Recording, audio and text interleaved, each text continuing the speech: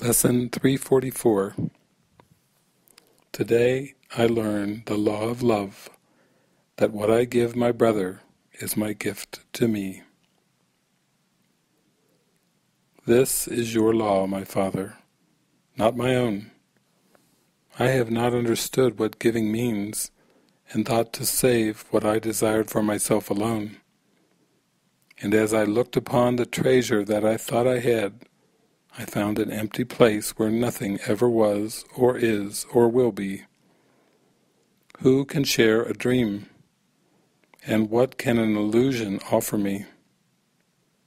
Yet he whom I forgive will give me gifts beyond the worth of anything on earth.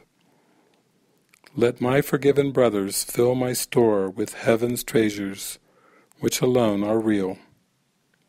Thus is the law of love fulfilled and thus your son arises and returns to you. How near we are to one another as we go to God. How near is He to us. How close the ending of the dream of sin and the redemption of the Son of God. Amen.